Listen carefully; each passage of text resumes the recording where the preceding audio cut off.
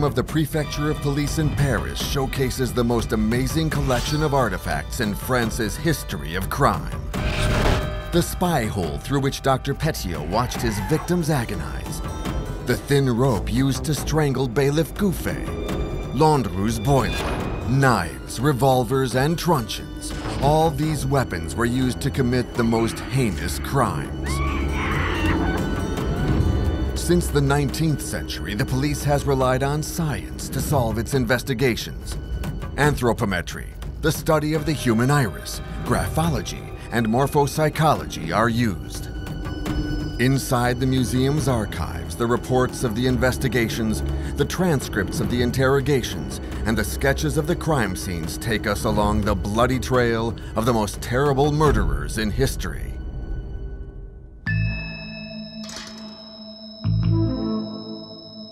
How could a man who seemed quiet, who had a happy, uneventful childhood, be able to dramatically change crime by making several women disappear forever? During the First World War, the men are at the front, while the wives, left behind, have to get work in order to survive. Taking advantage of the situation, the Bluebeard of Gambay used matrimonial ads to entice single women in order to relieve them of their assets. Their bodies are never found. Nothing more than a few bones, which prove nothing. Inspector Jules Belin will lead an extraordinary investigation to thwart the culprit who meticulously covered his tracks. Henri Désiré Landru has captivated international public opinion, and several filmmakers have brought the famous killer to the big screen. Charlie Chaplin played him in the 1947 film Monsieur Verdoux. Claude Chabrol directed Landru in 1962, and more recently, in 2005, Patrick Timsit's character was modeled on the famous criminal in the Pierre Boutron film The Landru Case. All these films serve to perpetuate the infamous Landru affair.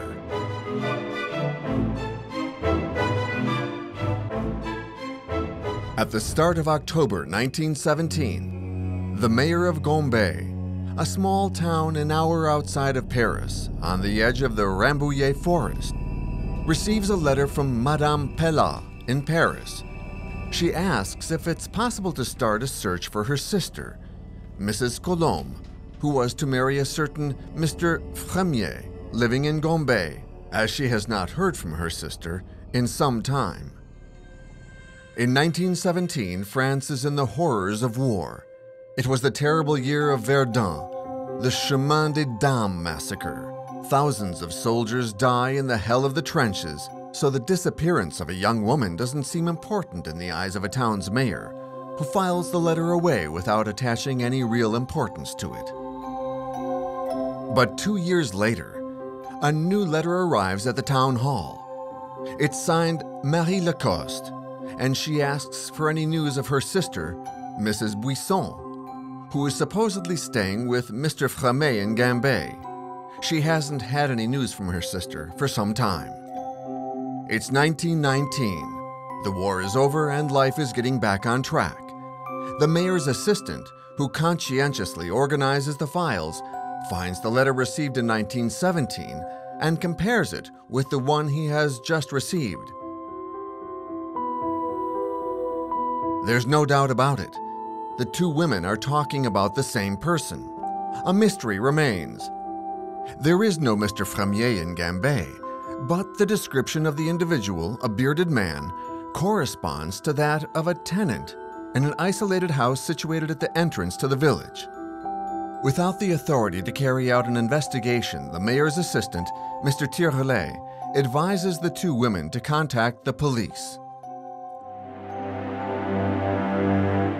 A complaint is therefore lodged with the state prosecutor, and the magistrate assigns an investigation to the notary services in charge of examining the importance of the case and of transferring the mission to the investigations services, which back then police called the Mystery Office. The first lead investigated is the white slave trade, But the age of the women and Mrs. Buisson's photo make this hypothesis extremely unlikely. By interrogating the families, Inspector Adam quickly observes that he must concentrate his research in Gambay and that he should also pass on the case to the City of Mantes Public Prosecutor's Department. March 16, 1919. Police officer Jules Hébé arrives in Gambay to interrogate the inhabitants. Very quickly, tongues start wagging, and the finger is pointed at the house at the entrance to the village. It belongs to Mr. Tric, who rents it out to a certain Mr. Dupont.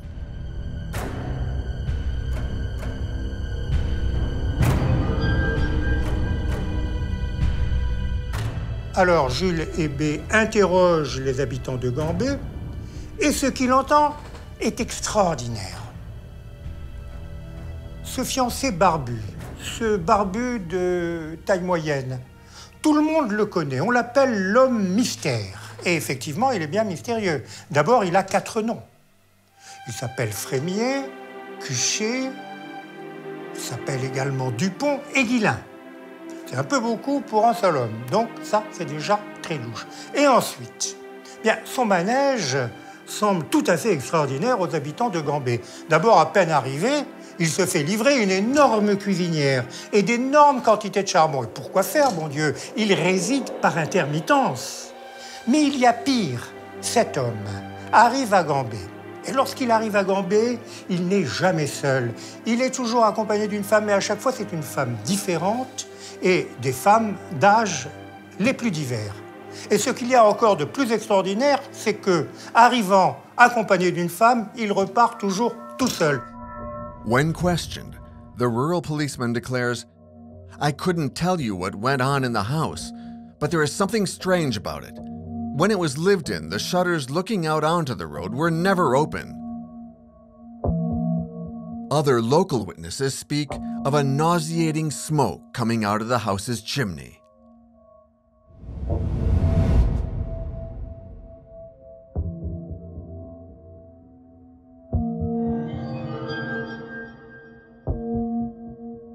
Ça sentait mauvais. Mais ça sentait mauvais comme euh, parce qu'on se souvenait bien dans le village de Gambé. Il y avait un vieux monsieur qui était décédé on l'appelait le père Thibault. Il était connu de tout le village de Gambé. Et le père Thibault, un soir, en vieillissant, peut-être en ayant un peu bu, s'était endormi près sa cheminée. Il avait basculé dans sa cheminée, endormi. Et la cheminée qui brûlait. Et c'était consumé. Il était mort, brûlé dans sa cheminée. Évidemment, de cette cheminée s'était échappé la, fumée du corps du père Thibault qui sentait, qui puait, quoi. Et les gens se souvenaient de cette odeur. Et ils disaient ensuite aux gendarmes et aux témoins quand ils étaient venus, ben, quand il y avait ce monsieur barbu dans la villa de Gambé, on se souvient qu'il y avait parfois il y avait de la fumée comme ça qui sortait. Ben, ça avait la même odeur, ça avait la même odeur que celle du père Thibault. The public prosecutor of Mantes therefore decided that this case deserved a large-scale investigation and alerted the French Criminal Investigation Department.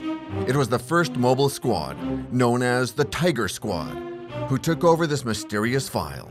Inspector Jules Belin was in charge of the inquiry.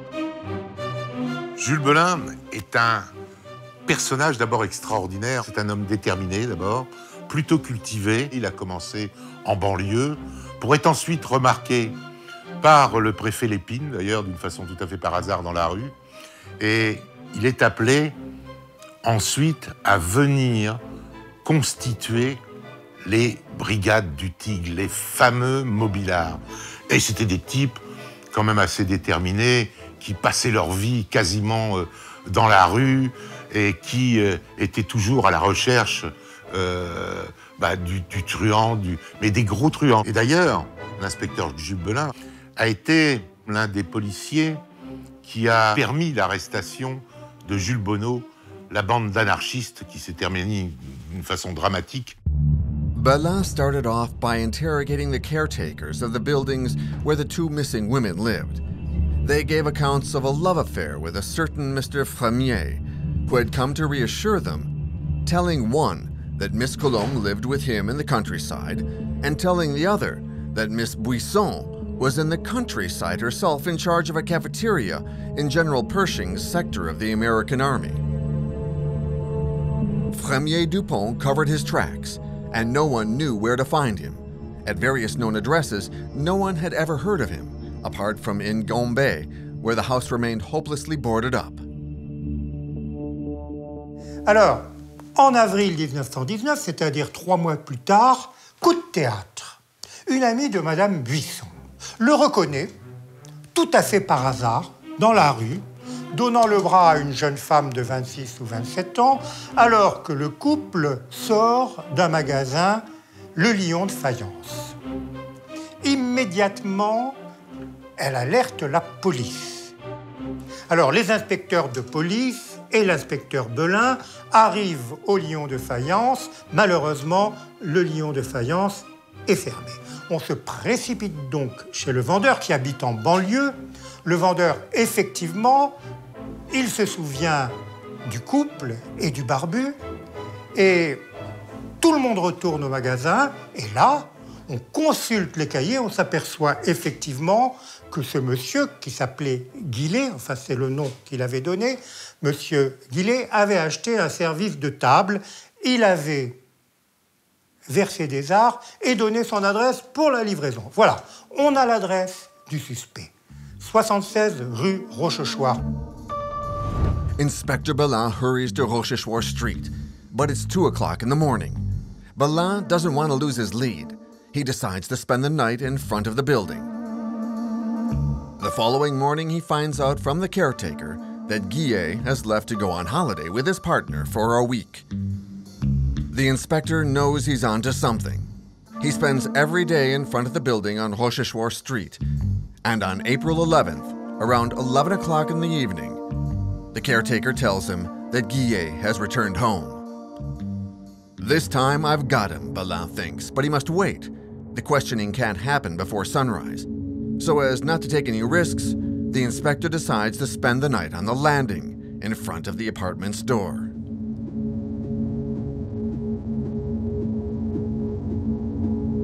9 o'clock a.m. Inspector Bomberger, who was contacted thanks to the caretaker, joins him and they carry out the arrest. Il frappe à la porte. Il entend du bruit dans l'appartement. Il entend un homme qui parle et qui râle, qui ralote. Belin refrappe, sous prétexte d'ailleurs d'une vente de voiture, d'une petite annonce. Il ne se présente pas comme policier tout de suite. Et un homme lui dit à travers la porte, il dit, euh, je suis pas réveillé, je suis encore en pyjama, revenez plus tard. Il dit, non mais il faut que je vous voie parce que... Et la personne finit par ouvrir. Alors là, évidemment, Belin se présente. Et là, en face de lui, un homme que Belin décrit d'ailleurs comme un homme plutôt maigrelet, visage émacié, barbe fort noire, chauve, enfin, le visage euh, un peu, effectivement, un peu beaucoup endormi encore. Guillet is not alone in the apartment. A few moments later, a young woman in a dressing gown emerges from the bedroom. Who are you? she shouts. It's a misunderstanding, replies Guillet. But overcome with emotion, the young lady faints. Guillet and the policeman rush towards her. They make her inhale salts, and she comes around moaning. Belin then asks Guillet to prepare himself for a detention which could potentially last a long time. It's 10 a.m. Saturday, April 12, 1919, when Guillet is taken into Superintendent Dutel's office at the Tiger Squad's headquarters, number 3 Greffulhe Street. Before making the defendant sit down, the officers frisk him. In his trouser pockets are some francs. In his right inside pocket of his jacket, Belin takes out a notebook covered in black fabric. Continuing their search, they discover another notebook hidden in the lining of his coat.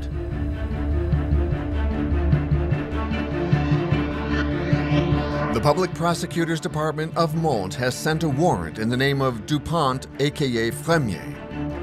Do you go by these names? asks the superintendent. My name is Lucien Guillet, and I was born in Rocroi in 1874, the concerned party replies. Do you know two women by the names of Colombe and Buisson? Guillet nods his head in agreement. These women who you promised to marry disappeared after they followed you to Gambay. Gentlemen, Guillet replies, they weren't left in my care. If these women have disappeared, it's not for me to find them. It's for the police to look for them. The questioning proves to be complicated. Guillet doesn't seem to want to help the police. Police custody can only last for 24 hours, and nothing seems to bring him out of his shell.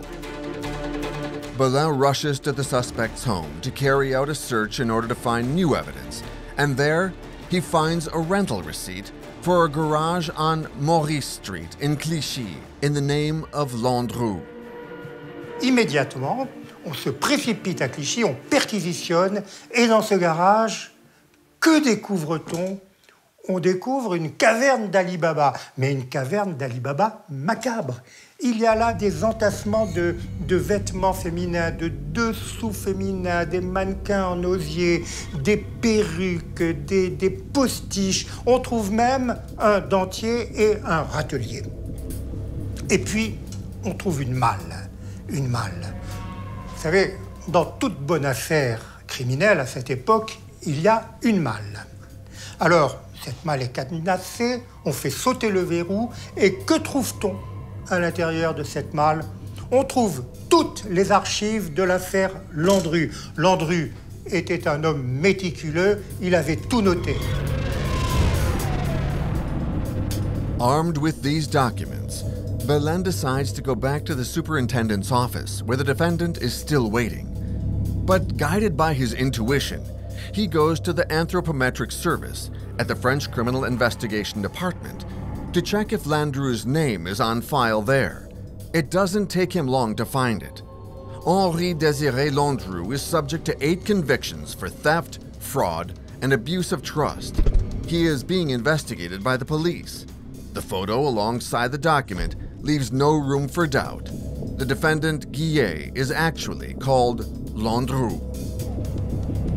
This time, they've got him. Back in the superintendent's office, Inspector Belin brandishes the file, forcing Landru to acknowledge his true identity. Yes, I'm Landru, but you must still prove that I'm a killer.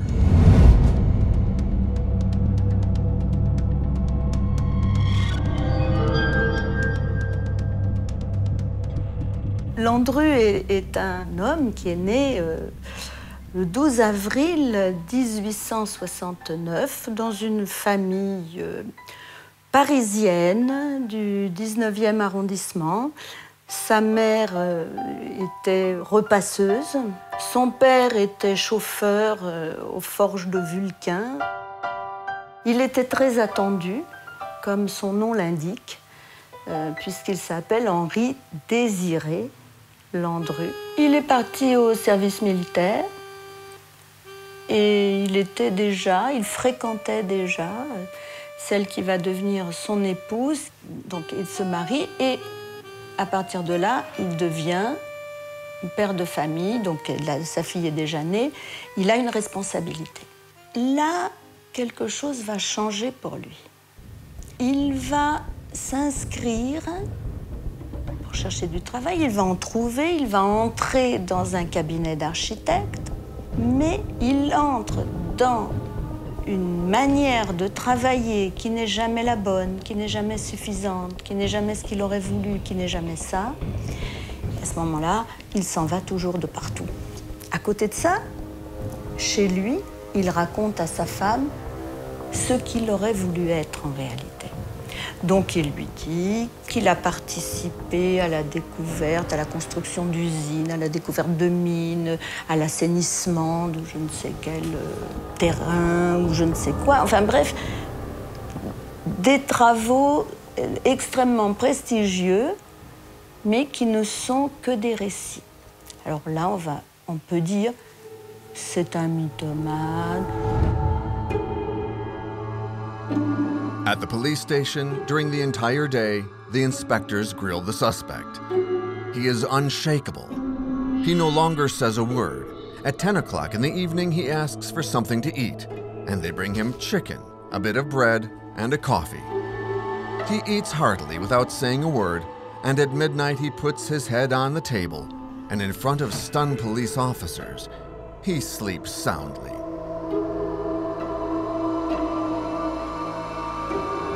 At 6 a.m. the following morning, Landru opens his eyes and asks for a milky coffee and croissant.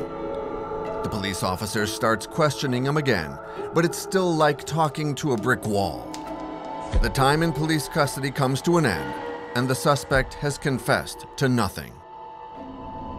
They take Landru to Mantes, the presumed location of his crimes. Facing the accumulation of evidence against him, Judge Bonin opens a judicial investigation to prove that Landru is the person charged with murder to ensure that he is imprisoned. The case is now in the hands of the justice system. The investigation is still entrusted to the 1st Mobile Squad. Landru remains completely mute, completely silent. He puts up the wall protecting his private life. Landru's two notebooks are of crucial importance for the investigation. In the first, inspectors find evidence partly in code.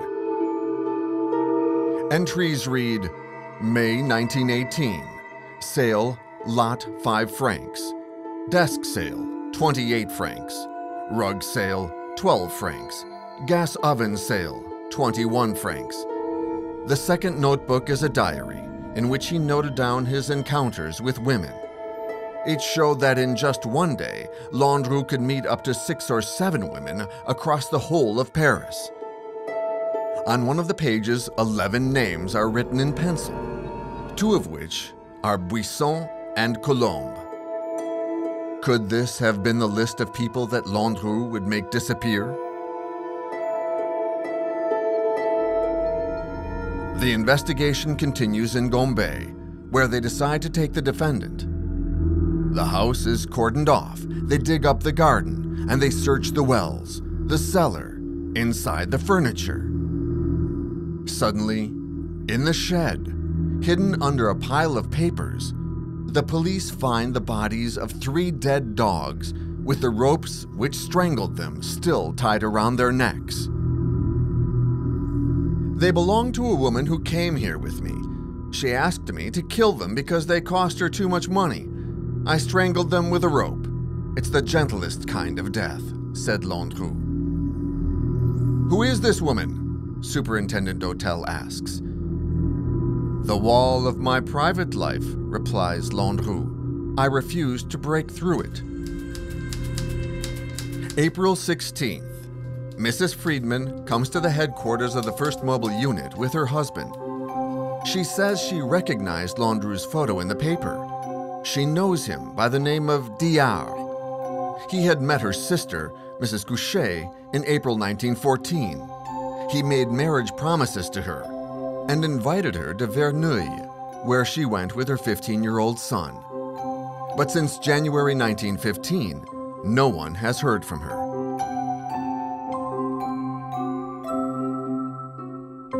Taking out the list found in Landru's documents, the inspectors find the name Cuchet next to the letter J, Idem. Together with the names Buisson and Colombe, this now makes four identified victims. There are just seven left to find. The four disappearances are making the headlines. Le Matin alluded to Bluebeard, the Landru drama begins, and all the newspapers bring out their bits of information. Alors la presse va jouer un rôle capital dans l'identification des victimes de Landru. Tout d'abord, il faut savoir ce qu'est la presse. En 1920, la presse est une institution gigantesque, tentaculaire. Le moindre quotidien tire à plusieurs centaines de milliers d'exemplaires, sinon à plusieurs millions d'exemplaires. Or, la photographie de presse a fait son apparition au début du siècle. La tête de Landru est donc dans tous les esprits. Dans ces conditions, la police judiciaire va recevoir des dizaines de milliers de lettres pour dire mais tel individu, on le connaît, euh, telle personne qui a disparu à telle époque euh, était en sa compagnie. Donc pour la police, un problème monumental se pose. Comment faire le tri? Fort heureusement, la police n'a pas communiqué à la presse les noms des femmes inscrites au carnet fatal. Donc, dès que l'un de ces noms apparaît dans une lettre, immédiatement, on sait que la piste est bonne. It's by reading the newspaper that Miss Van Hove, the caretaker at 330 St. Jacques Street, recognizes the bearded man who, in January 1919, seduced one of her building's tenants, Miss Marchadier. Marie-Thérèse Marchadier, eh bien, c'est une prostituée, c'est une courtisane de haut vol, elle a 39 ans, c'est une belle femme et elle rêve de se reconvertir dans une existence honnête et bourgeoise. Et pour cela, elle a amassé un certain magot, un petit pécule. Lorsqu'elle rencontre Landru, c'est le coup de foudre. Landru est l'homme de ses rêves. Pour Landru, c'est également le coup de foudre. Mais Landru, lui, le coup de foudre, c'est pour le magot. Alors, Marie-Thérèse Marchadier, eh bien, c'est la proie rêvée pour Landru, parce que quelle est la technique de Landru?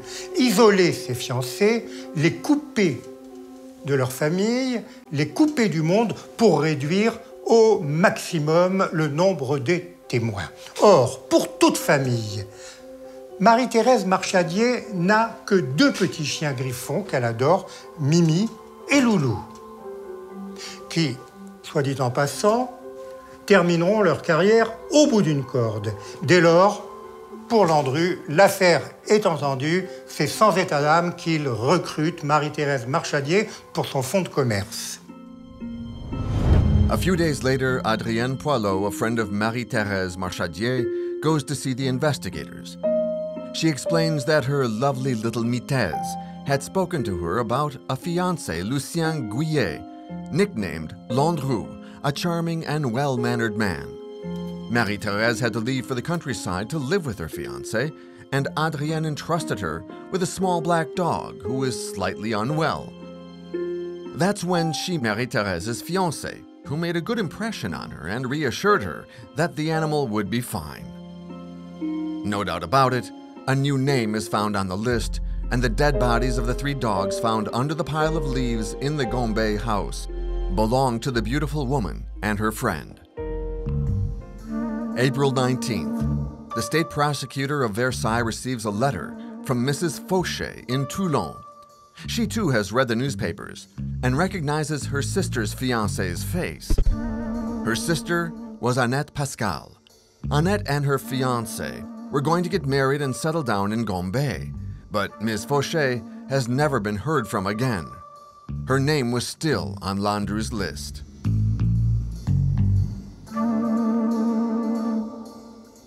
On April 21st, Mr. Rigaud comes to the superintendent's office.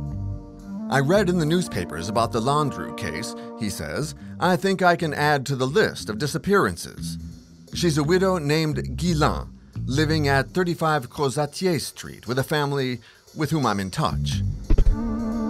The inspectors immediately follow this lead, and in less than 24 hours, Miss Guillin's story is pieced together. Miss Guillin was over 50 years old, a former housemaid. She'd inherited a tidy sum of 20,000 francs from her lover. Now able to take care of herself, she wore fashionable outfits and had decided to change her life. It was by the means of marriage ads that she came to know Mr. Couchet. He was pretending to be the French consul in Melbourne, Australia. Good enough to seduce a woman who is in search of status. In August 1915, Miss Gila announced to her family she was leaving with her fiance to go to Australia, and no one ever heard from her again. In 1916, the caretaker of the flat on Crozatier Street, where Miss Guillin lived before she met the council, recognized Mr. Cuchet, aka Landru, in the 13th district, accompanied by two women. She immediately imagines the worst. Miss Guillin's name isn't found on the list in Landru's diary, but there was the name Crozatier, the exact name of the place where she lived. The link was evident. But how did all of these women succumb to the charms of this fraud?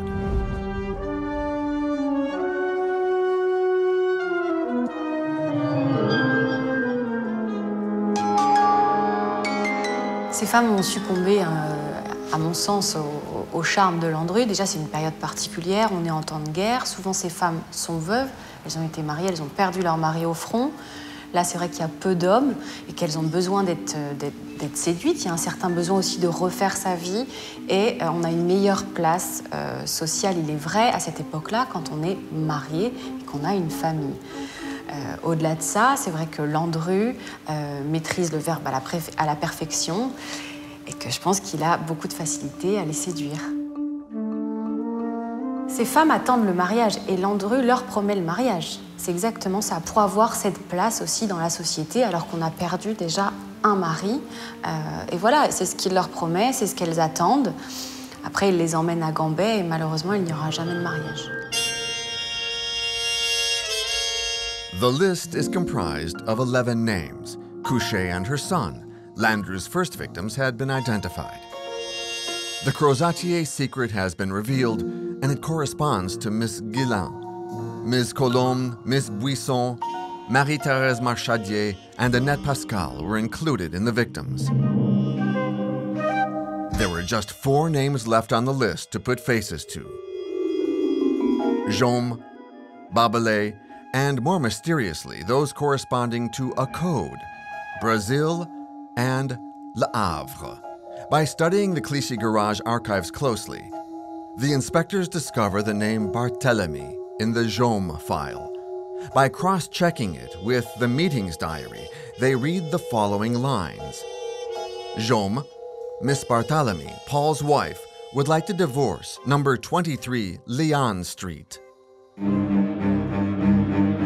They set off for Leon Street. The caretaker there knew Mrs. Jaume and she has not heard from her since her engagement. She worked as a seamstress at number 26 Sheen Street. At the fashion studio, her boss, Ms. Leroux, was affectionate for Ms. Jaume, who had told her about difficulties with her husband. She also told her about meeting Mr. Guillet in March 1917, who had seduced her with his good manners.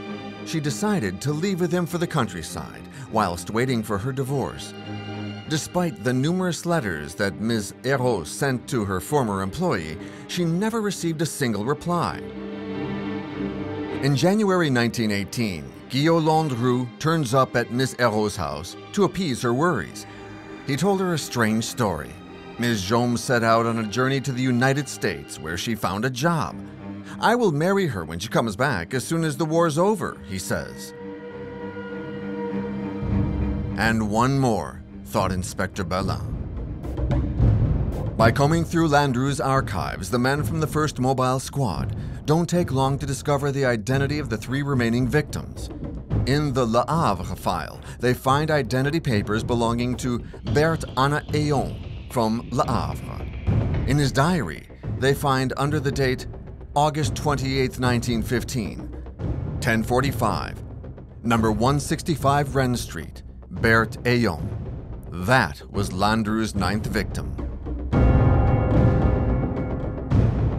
April 26, 1919, the newspapers informed the public that the 10th identified victim was just 19 years old when she met the man the press called the Bluebeard of Gambay.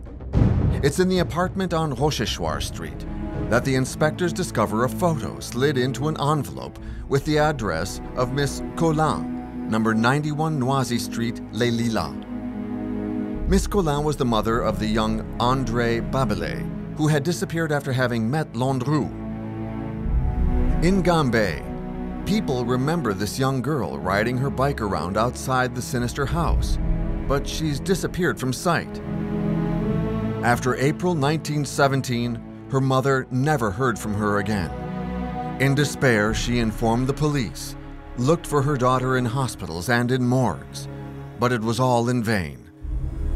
Now the inspectors just need to discover what's meant by the code name Brazil. Alors là, on va s'aider des archives de Landru, trouvées dans sa malle, et on s'aperçoit que l'une des femmes est née en 1868 à Buenos Aires. Alors les enquêteurs se disent, ben, à Buenos Aires, l'Amérique du Sud, évidemment, Buenos Aires, c'est l'Argentine et non pas le Brésil. Mais enfin, se dit-on avec philosophie, peut-être que Landru était mauvais géographe et qu'il aura confondu le Brésil et l'Argentine. Et effectivement, au cours de leurs investigations, les inspecteurs interrogent une gardienne d'immeuble.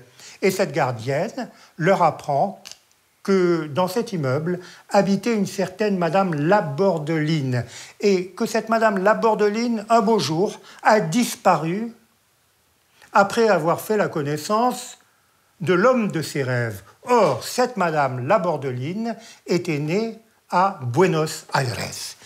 On avait identifié Brésil. The inspectors also carry out several investigations in Verneuil, where Landru had rented a house prior to the one in Gambay. They were particularly interested in the stove, which could have been used to burn the bodies, in Jouvieux, where he had stayed for a few weeks with Ms. Cuchet. Presented with a multiplicity of crimes and places, which depended on different public prosecutors' departments, the decision was made to lead the investigation in Paris, where the majority of witnesses were located. On April 27, 1919, the prisoner transfer from Mont de Paris is organized, and the link between the investigation reports was entrusted to the examining magistrate, Mr. Bonin.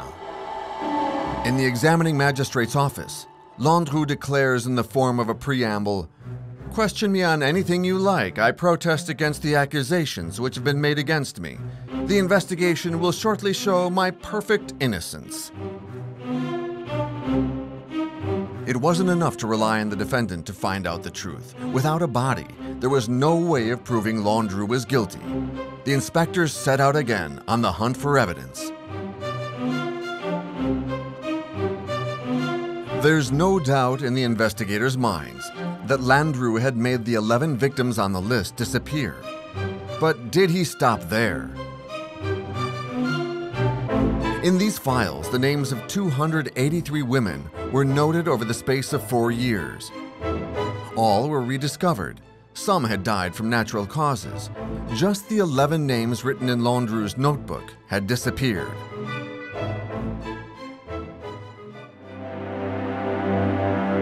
They returned to Gambay with the well known Dr. Paul, a forensics expert. In the shed at the bottom of the garden, a pile of ashes, containing bone remains intrigued the investigators. The experts are immediately called in. The ashes and the oven were taken to be analyzed in the lab.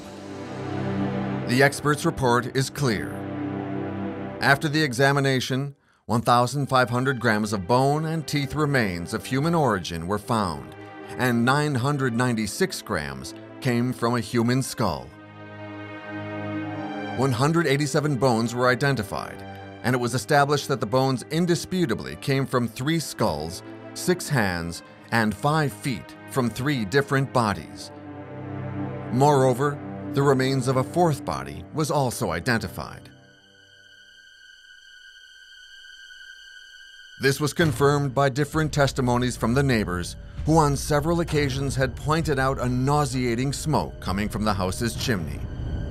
It seemed that the disappearance of these bodies was explained by them being incinerated in the famous oven. However, a doubt remains. Just the remains of skulls, hands, and feet were found amongst the ashes. Not a single fragment belonging to other parts of the human skeleton were found. The testimonies once again directed the investigators. Landru had been seen on several occasions crossing the countryside in the woods around Gambay. Alors on interroge tout le monde. Et bien sûr, en pareil cas, tout le monde a vu quelque chose. Par exemple, on a vu un automobiliste qui s'était arrêté pour une raison ou pour une autre non loin d'un étang, qui avait vu de nuit un mystérieux euh, personnage jeter un fardeau dans un étang voisin de Gambé. On avait vu également, euh, on parlait de morceaux de chair qui flottaient à la surface du même étang. Alors, on va examiner l'étang, on va le sonder, on fait venir, la brigade criminelle fait venir de Paris des hommes grenouilles.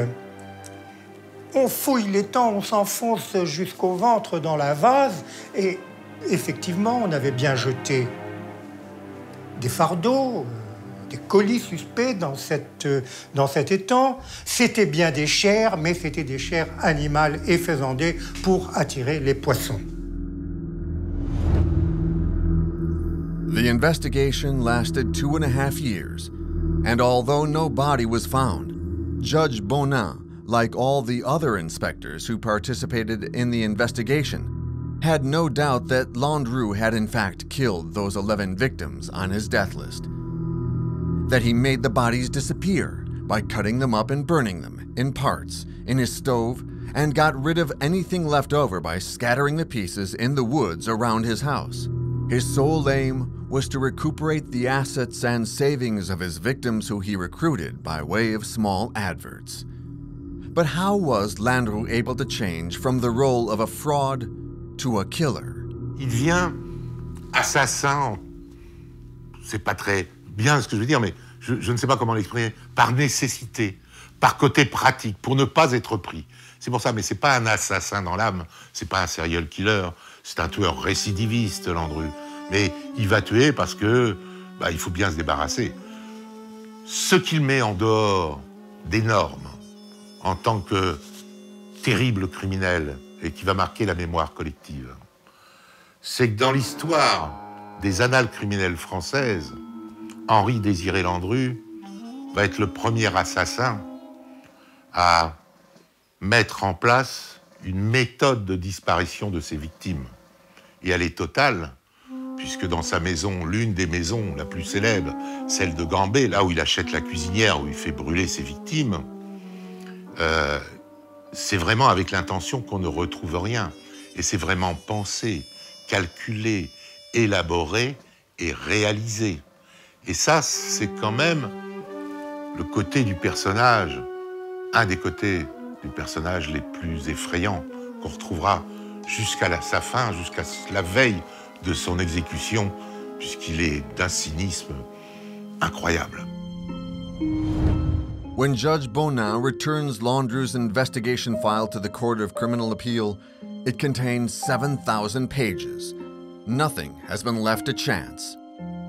November 7, 1921, Henri Désiré Landru appeared before the court of Versailles. The presiding judge Gilbert will direct the proceedings. Mr. Robert Godefroy is the prosecuting attorney. The defending counsel is Mr. de Moro-Giafferi. The trial will last 20 days. C'est un grand procès. Il est rehaussé par la présence de personnalités.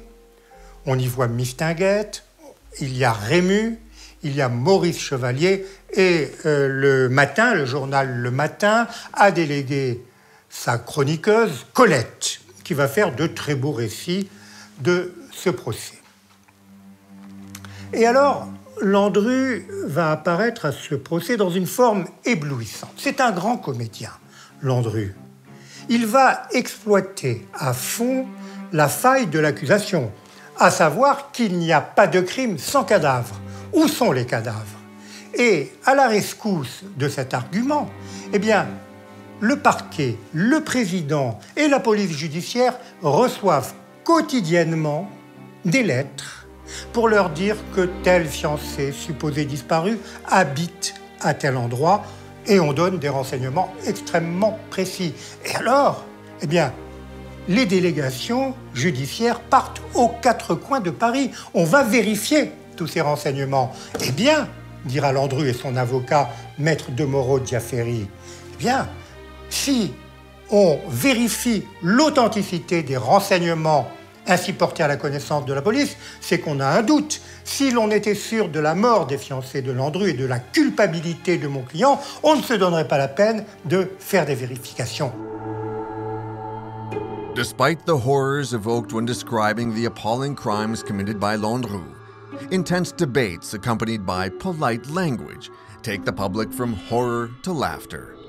When the prosecuting attorney said, Mr. Landru, we estimate that you have 283 successive fiancés. The defendant got up and addressed the court and the public, and he said, And I only killed 10. How lenient of me. Then, at another moment, my head. You always talk about my head. I regret not having several to offer you, Mr. Prosecuting Attorney. On Monday, November 21st, the 1027 train from Paris to Versailles is full. That's the day everyone waited to hear the statement from Fernand Segret, Landru's most recent mistress, the one who was in bed the day he was arrested. When she appears in the courtroom, the public holds their breath. Landru lifts his gaze, suddenly fascinated. Fernand Segret approaches the bar, stumbles, puts her hands to her eyes, and bursts into tears. Upon Mr. de Moro request, the presiding Gilbert decides to postpone the witness's testimony until later. Judging she is not in the right state of mind for answering questions, the following day, the beautiful woman appears again. The crowd murmurs.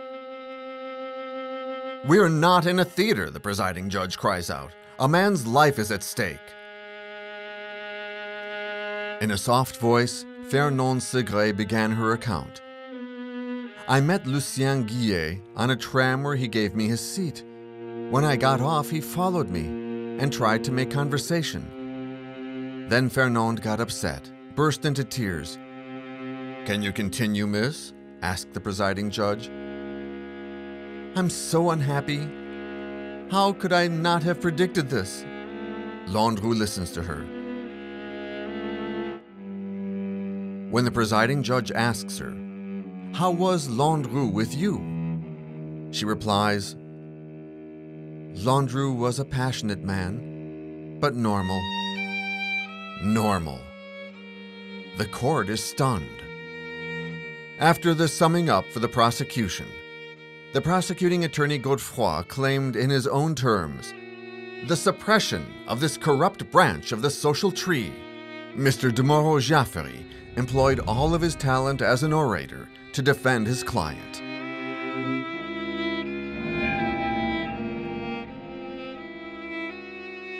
Euh, la plaidoirie de mon grand-père a eu cette particularité qu'elle s'est déroulée en deux après-midi consécutives. L'une qui était pour ainsi dire un cours de droit civil, dans lequel il a développé le fait que les disparus ne sont pas légalement mortes. Il faut 30 ans pour qu'un disparu soit réputé mort. Le lendemain, mon grand-père a développé euh, la notion d'erreur judiciaire.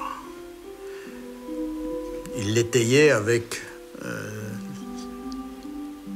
le fait que les cendres qui avaient été retrouvées étaient anormales et ne correspondaient pas à des cendres humaines. Elles étaient anormales parce que le taux de phosphate était, paraît-il, trop élevé.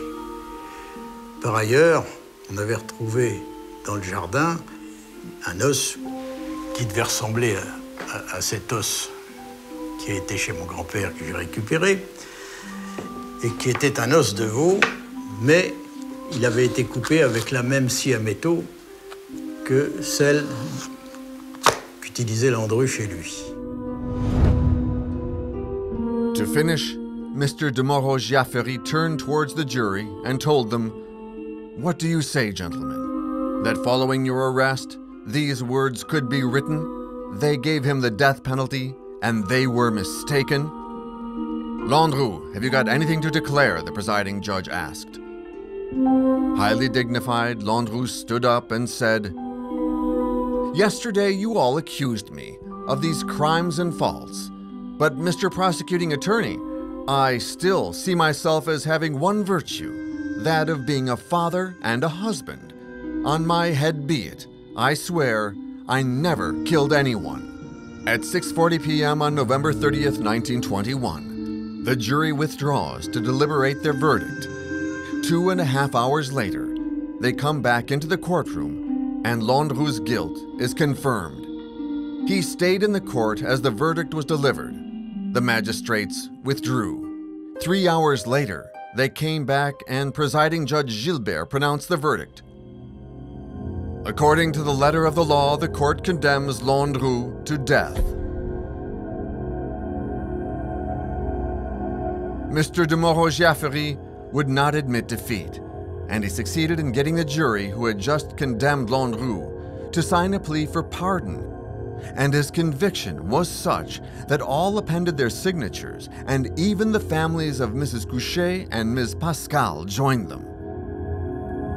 The President of the Republic, Alexandre Millerand, refused Landru's plea for pardon, and on Friday, February 24th, the guillotine was set up in front of the prison of Versailles.